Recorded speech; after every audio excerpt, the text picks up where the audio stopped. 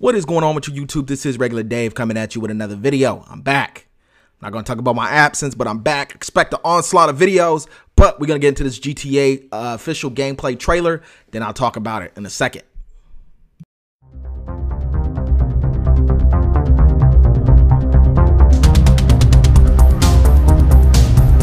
With Grand Theft Auto 5, Rockstar have tried to reimagine the open world game in a number of ways.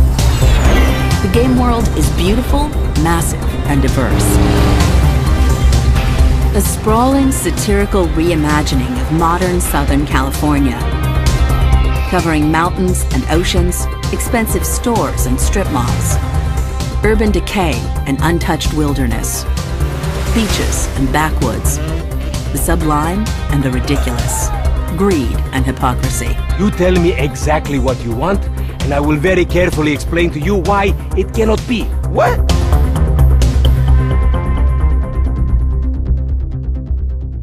So what we doing here? We're working, amigo. For the first time, the game features not one, but three would-be heroes. So now what? Michael, a once successful bank robber, and now less successful family man. You know, you're a real asshole. What did you just say to me? Stop it! You're ruining my yoga! Franklin, a hungry street hustler convinced he's surrounded by morons. We can't repo the assets of a dead man, big sitting cheap asshole. And then there's Trevor. The less said about him, the better. Introducing three lead characters transforms both the narrative into one interwoven story and the structure of individual missions.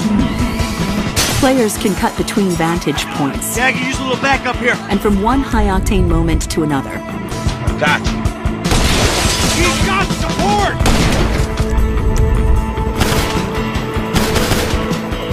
Get us out of here! Roger that! This helps to give missions new levels of diversity and intensity.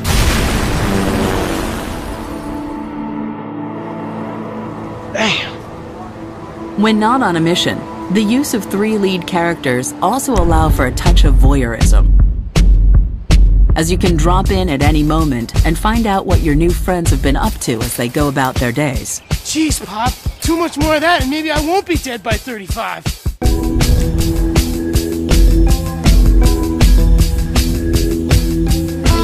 Hey, officer!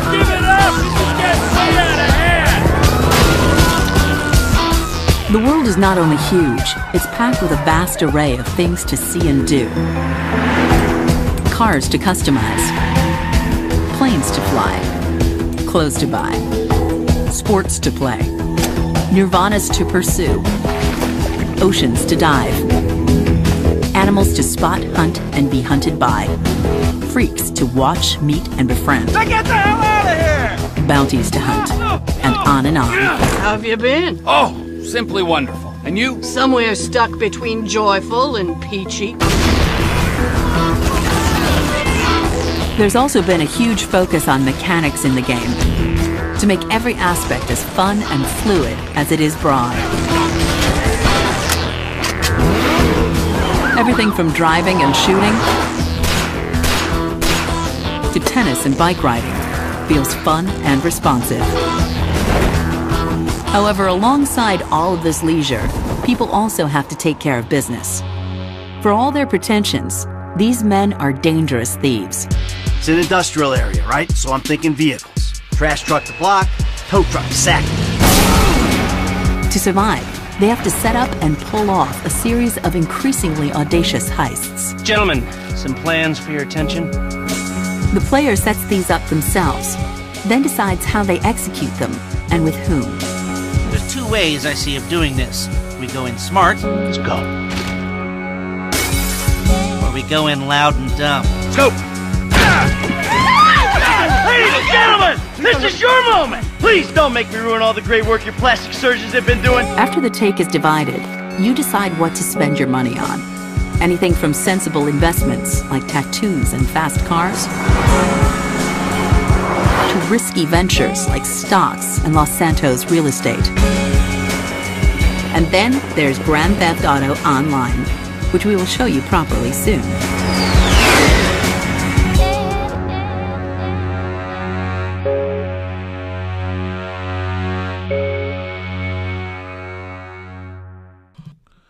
All right. All I can say to that is wow, man. That was ridiculous. I know I'm mad late breaking this thing down, but better late than never.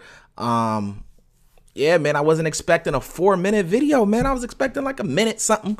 Leave us wanting more, but they gave us a deep, deep trailer uh, showing official gameplay. And I'm gonna just leave you with a couple key points that I noticed. Um, and you guys could chime in on the comments. Number one was how massive this game is. Yo, being from Southern California, I understand. That's one of the draws of Southern California is the landscape. Yo, you live in Southern California, you're an hour away, you're normally no more than an hour away from the beach, an hour away from the mountains, an hour away from the desert. Anything you want to do, anywhere you need to get, doesn't take too long, and GTA 5 is covering that. Um, if you can see, man, they show the beach, how the water looks on the beach looks different with the waves crashing than how it does on a lake.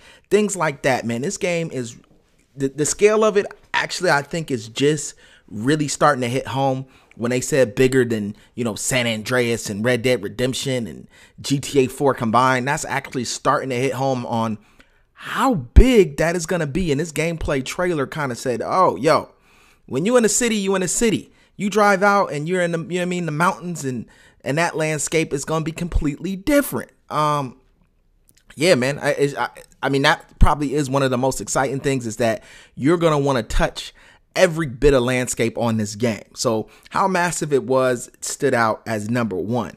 Now, they showed a thing in this trailer that really, really, I was, I'm not going to say I was worried about, but, uh, you know, it gave me some concerns on how changing characters will work. Um, and they actually did it exactly the way how I would have liked them to do it, how it shows the map pan up in kind of like a Google Earth view and then go back down. Um, I think they hit it on the head. If that's the way it actually works and it's seamless and flawless, kudos to them, man, because I actually had doubts. I was actually a little bit skeptical uh, how they were going to pull it off as we're watching right now, how it pans up, pans over. I think and on top of that, what they're really showing off is how massive the game is. We going back to point number one.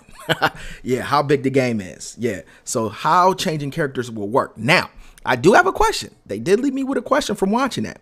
When you change characters, when you seen that scene of you changing from Franklin to Michael and Michael's bike riding with his son and his son says something about living another 30 years or something like that. Yo, how fresh will that be the more we play the game? How many times when we when we change to Michael will we see him bike riding with his son or will that just vary all the time? My guess and what I figure they should do is have a couple unique experiences that you only see once and in the majority of the time they're doing what they do. Uh, Trevor can be in a, you know I mean, high speed chase. That could be unique. But Michael could be on the couch doing whatever, chilling with the family. Nothing that's repetitive um, as far as a unique experience. And Franklin, can be on a block. yeah, so I do have a question on, you know, how unique that will be. Um, crazy. Yo, Another thing, man, did you guys see the new HUD? It looks like they're making it much easier to change weapons. Before, how it worked wasn't very effective. You got the pistol out, you want to get to the rocket launcher, you got to cycle through weapons, you don't know the location. You know what I mean? All the while you getting shot while you cycling through weapons. Now they got this look like they had this circle system. Um, that looks like you're gonna be able to jump from the AK-47 to a grenade with the, you know what I mean, flick of the right stick is my guess. Don't know, but the new HUD looks uh, much better than the current system. Um, customization, they touched on that, which is very important, man. A lot of people didn't like GTA 4, straight up. They did not like it because San Andreas let you customize everything, and then GTA 4 took that all away, and people were kind of mad. So I think this is GTA uh, San Andreas realize on this gen, man. What they really wanted to do in GTA San Andreas, you could tell they couldn't exactly do because of the limitations of the hardware, and now they could take it all away with the customization, with the cars, the tattoos, uh, shows you could buy real estate, all kinds of stuff, man. It's it's looking like, yo, this game is gonna be customized and unique to you. Yo, another thing, we got to see how crazy Trevor is, man. Yo, did y'all see him? Stuffing that foot in the toilet. They said he is the most psychopathic character in GTA history. That's saying a lot with all the games we've seen and how crazy people are. And Trevor's the most psychopathic. all right, so we got to see exactly, yo, he was stuffing a foot in the toilet. Yo, crazy. Uh, what else is they, what, oh, they showed basically why they gave this game a number. I read an article, I talked about it before, is one to three character change, but another one it's a heist game, and they show how you get to put together the different heists. Um, for each mission. It's going to be unique to your experience. If you can see one heist, they smoked the place out, looked like there was not a whole lot of confrontation, or you had the choice going in guns a blazing. I'm sure Rockstar has thought this out properly, and each one is going to have its own repercussions that you're going to deal with. Yo, this is a game I'm not going to front. I might have to do two Let's Plays because it looks like you're going to be able to play it so many different ways, man. Switching to one character's perspective during a mission, or yo, what if you want to, you know, drive the helicopter instead of shoot the gun out the helicopter? You know what I mean? That's going to be unique. You might have to play this game two or three times to just really feel the whole game. Um, yo, I tried to cram all that in and not be too long, man. I'm already at the almost 11 minute mark, and I got much more to talk about. So look for more videos to come on this. But man, this this trailer was off the chain. I'll get at you guys another time. Peace.